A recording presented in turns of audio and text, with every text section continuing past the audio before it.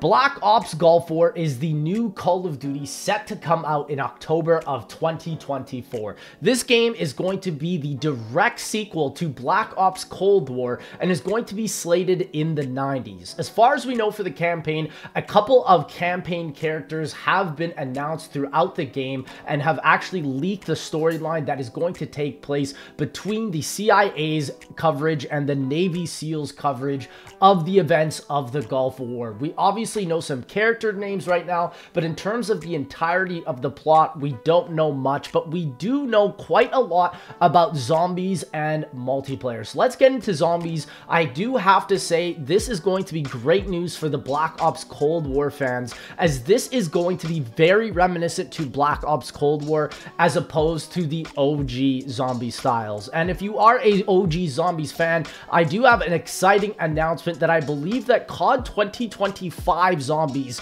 will be very OG styled. And so we'll get to that in a second. But I want to give a big shout out here to Robert the Great because he made some beautiful conceptual images of what the Gulf War menu could look like, which is featuring some dark ether imagery while also slating it over the standard tabbed Cold War menu featuring the play, loadout, operators, customized battle pass event, and store. And he even overlaid it with Call of the Dead and Verrückt and a menu screen filled with a Black Ops collection and the Call of Duty Dark Ether new stuff that is coming out. And so this is really cool because genuinely, I don't think it'll look exactly like this, but I have to give a big shout out to this guy because I genuinely think he is very, very close and spot on considering the leaks that have been announced towards the game as we know that five main resource stations will be featured in Call of Duty Black Ops Gulf War Zombies specifically. You obviously have the perk machines and also it is confirmed that that perk cans are going to be coming back. And so I can imagine the perk machines will also look like Black Ops Cold War. And the Black Ops Cold War Der Wunderfizz vending machine will be returning where you can equip various perks through a menu. Now, what is interesting is that the Black Ops Cold War pack punch is coming out, but we are getting the knuckle cracking animation to come back, which I'm a little curious how they're going to do that now with the Black Ops Cold War pack punch system, because when you pack Pack punch in Cold War, it brings up a menu. So is there going to be another system where we double pap or is double pap just going to go back to the way it was where you randomly get it every single time? I don't think we should go back to that. I think there should just be a way where maybe there's a corner on each pack punch that's like, okay, if you want Dead Wire, go to this corner. If you want uh, this turned brain rot, you go to this corner. I think that would be the best way to deal with that because we don't actually know how this system is now going to be changed because the knuckle cracking animation has returned from the OG games. Now, a new system is the tool grinder. No longer are you going to be going towards the arsenal dummy machine to be upgrading your weapons. They have now separated these systems into two different machines, being the tool grinder for specifically upgrading the rarity on your weapons and also potentially even giving you randomized stuff, while the arsenal is strictly for armor. I do think this is a great change. However, I am very concerned because Black Ops Cold War zombies maps were very stale because of the fact that they copy and pasted the same machines without giving a lot of love. And I really hope that we get reverted back to that. And again, for my Black Ops Cold War fans, we have the crafting table returning where you can craft various gear. So Semtex grenades, flashes, stuns, all of that stuff, a bunch of equipment, and also kill streaks to assist you in making sure that you stay alive. I'm excited to play another game in the Cold War system, but don't get me wrong, I definitely do hope that we get some good maps to go along it because I think that's where Cold War really suffered. As far as some other leaks that were just recently announced, we have seen some images in the game files for the ray gun to become a feature in Black Ops Gulf War, so I could imagine it's going to be the same power stats as it was in Cold War, which is a very welcome change because I absolutely love the Cold War ray gun. Obviously, as you guys know, we have the crafting table. Here is an image of it, but also we have a new machine potentially with a new string of code where it's a machine where we craft something. So maybe potentially we are going to be going back to sort of the Black Ops 3 and the Black Ops 4 system where we could be crafting wonder weapons on a specific machine, which I really enjoyed back from Black Ops 3. So that is a huge plus for my zombie OG lovers. Now, we also know that the two maps featured in the game mode is going to be a city map, and I believe this city map is potentially going to be transit as the jet gun was found in the COD 2024 weapon files from the Modern Warfare 3 beta leak. And so this potentially means, now I really hope that this is not it, but I think this, this could actually be it. Treyarch also posted a hiring post basically confirming that there will be an objective-based mode in Call of Duty Black Ops Gulf War. So we don't know if it's going to be more akin to Modern Warfare Zombies or if it's going to be more akin to Black Ops Cold War's Outbreak mode. I would guess that it would be more akin to Modern Warfare 3 Zombies as that was the most recent iteration, or maybe it will be a combined version, but potentially I believe that maybe the city map could even be an Outbreak map. I think a lot of people would be very disappointed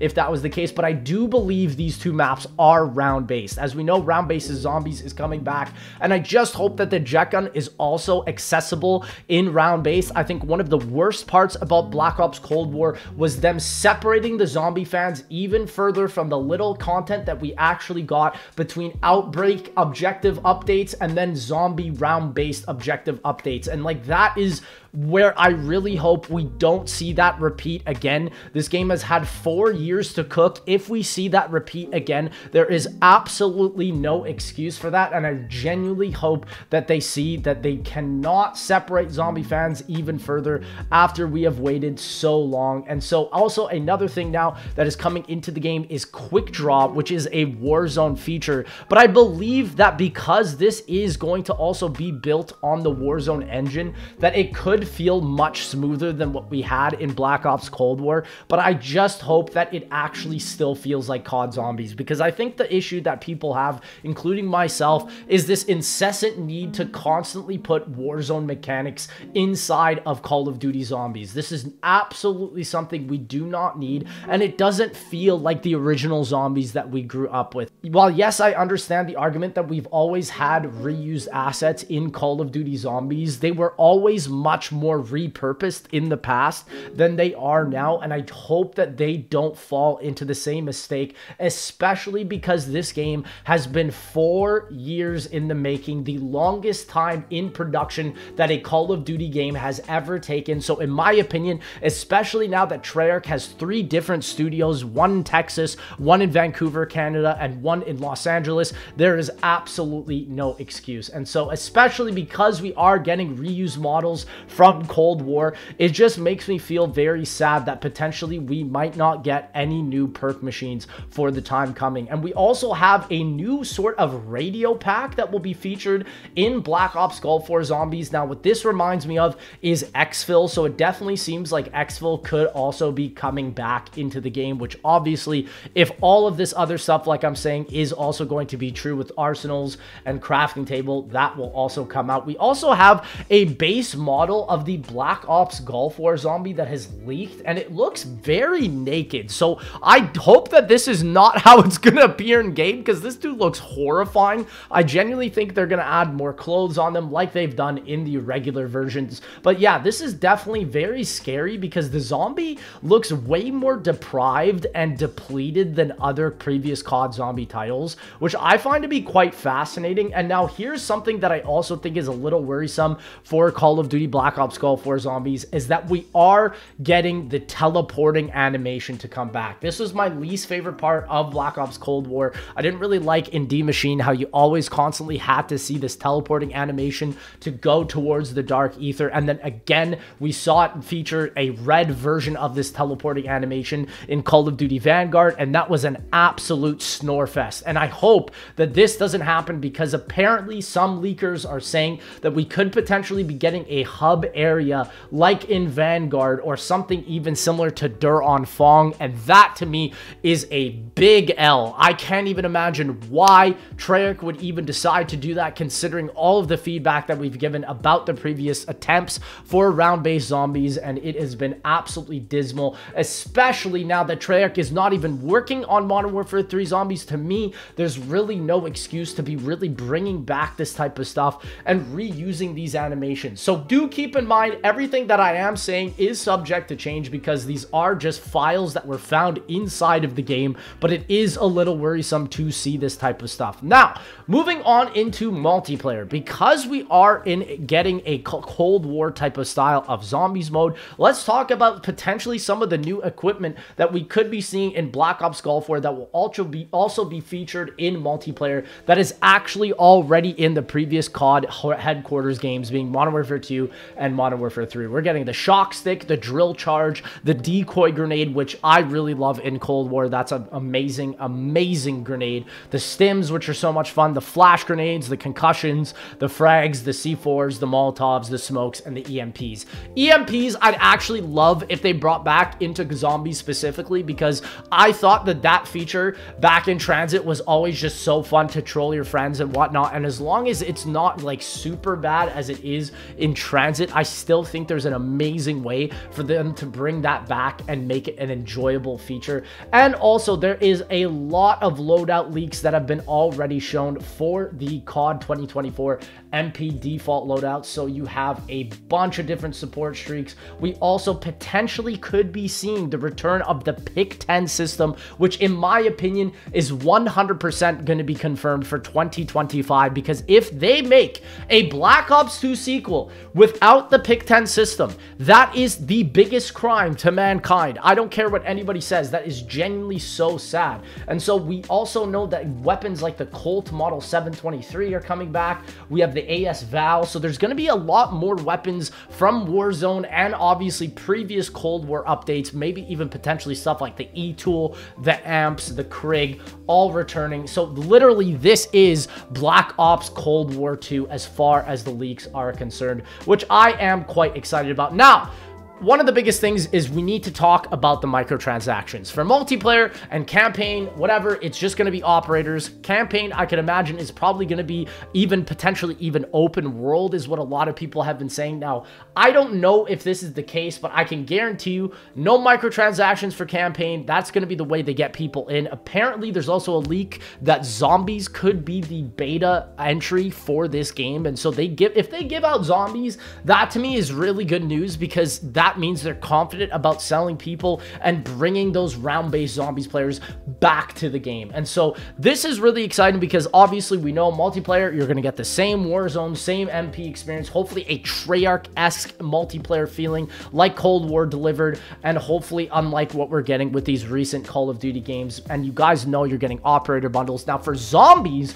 we did get a tweet from Kevin Drew, the lead designer of this zombies game mode, that he says, I have come here to chew gobblegum and kick the butt and I'm all out of Gobblegum. And so this is the issue that I have with this. Are we both getting Zombies, Operator Bundles, and Gobblegum? Or is Zombies going back to the playable set of characters and bringing Gobblegum as the monetization system? If this is the case, bringing back Gobblegum as the sole monetization system, in my opinion, is the best way to go. So many people did not like Operators in Black Ops Cold War. It took away from the story and it took away from the lore, and I I genuinely believe that if they decided to relegate the operator system specifically for zombies and give a set four playable cast in this game, that would be the best way to go because I cannot understand why in Black Ops Cold War you get this serious cutscene with Samantha Maxis all grown up, you first time you see her, and you're playing as a freaking skeleton, or you could even be playing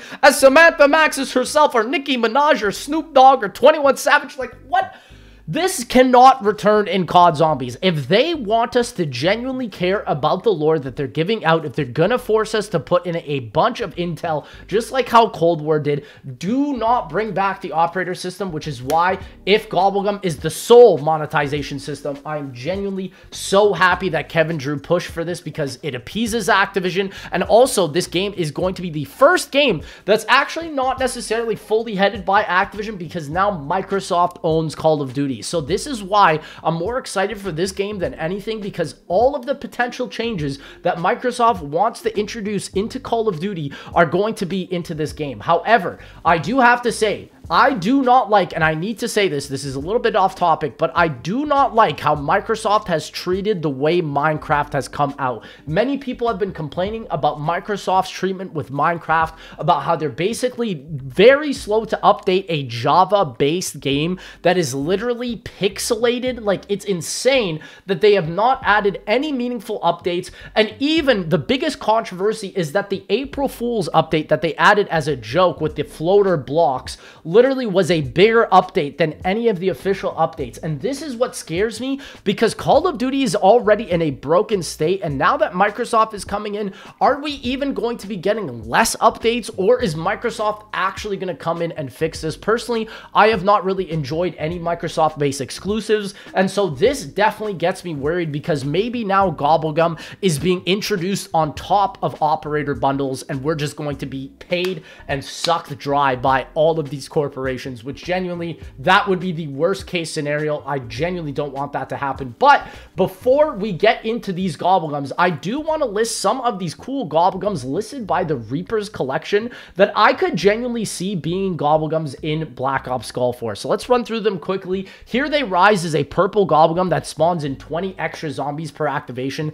That's amazing. Firearm formulation spawns a random weapon power up. That's amazing. Get a random weapon. Armored up, negate all incoming damage. So it's kind of like a similar elixir from Black Ops 4 with the armor. Bottomless bullets, infinite ammo drops. I mean, infinite ammo would be an amazing drop to add. Barely alive removes all ammo from held weapon and gives 30 points for each bullet taken. Something really unique, something about adding points and could be used for so many different speed runs. You also have a bunch of whimsicals like zombies killed with headshots create teddy bear explosions. Zombies where duck floats play the Easter egg song of the map as a whimsical gobblegum. That would be so amazing. A classic where you can drop 500 points as a power up, which would be also amazing. World War II zombies added that. Another one, Power Keg, which refills your specialist meter, which I really hope Cold War you do not add the wand field upgrade. Gulf War, please listen. I like the wands for Cold War, but if they add it in again in the 90 setting, it literally wouldn't even make sense. I hope the specialist weapons are going back to the Black Ops 3 variation of them being unique. Exceptionally equipped also gives you the specialist weapon of the map. You could get one that spawns a bonfire sale, another one that uh, nearby zombies will take damage, so it's kind of like burned out. Another whimsical where it launches them up in a rude matter where they like flatulate or something. You've got another one where your next mystery box use will be a random wonder weapon. They could add so many different variations, and you know they're going to be adding stuff like Perkaholic and the OG classics, which is the reason why people even bought the BO3 Gobblegum and the BO4 Elixirs once they finally added that in. And so you have so many different ones here, like all purchases are half price. You can buy an extra perk. Each perk you buy is also given to other players. One where it turns on the power switch, another one where it gives you the shield, another one where it transforms into a random Gobblegum, which is kind of like Flavor Hex. Taking damage from zombies yields 100 points. Teleport to a down player, which we saw in BO4. Wall, guys get, wall buys give a random weapon in place of the wall gun. So it's like there's so many different ideas. And I genuinely hope that if they go down this Gobblegum service, they need to do it in a live service way, which is the way they're going to be able to grab players in again. Because it took so long back in Black Ops 3 to even get Gobblegum because we only got four every new DLC pack, which was not enough. That would be like four every three months, which I'm gonna be honest, we need to be getting like four every month minimum. Even like one a week would be so cool. You don't have to go the Black Ops 4 way. I really hope that they do not just release a bunch of content and just hope for us to enjoy it. Release it slowly like a live service game, but actually have it be impactful. Always make sure something fun and new and exciting is coming up on the horizon. Now, Zombies Chronicles 2. Obviously, as you guys know, I've tweeted this out that Black Ops 3 Custom Zombies is bringing you Zombies Chronicles 2 by all of these creators where we have the Transit Project, the Return to Transit, which is a version pre the Moon Zombie rocket launch, Die Rise, which is by Zella Dobby and sponsored by myself, Buried 5, Mob of the Dead, Call of the Dead, and Nuketown. And so this is all going to be coming out before Black Ops Gulf War, apart from potentially Transit, Buried, and also maybe even Mob of the Dead and 5. So it, a couple of these will be late, but the thing is, is that I'm almost certain that Zombies Chronicles 2 will not be launching on this game. If it is, it'll just be transit because of the jet gun in the game files. And then on top of that, I just think that if they do, it's not going to have the same hype as the original. They're not even potentially even going to advertise it as a Zombies Chronicles 2. They're just going to add these maps in the game through live service. And so ultimately, I think if you are looking for something something very reminiscent to the original Zombies Chronicles experience, you're going to get that on Black Ops 3. And so for my OG Zombies fans, I would highly recommend getting a PC and waiting for 2025. Like I said, Black Ops 2 sequel will 100% probably have the Zombies Chronicles 2 maps. It would be weird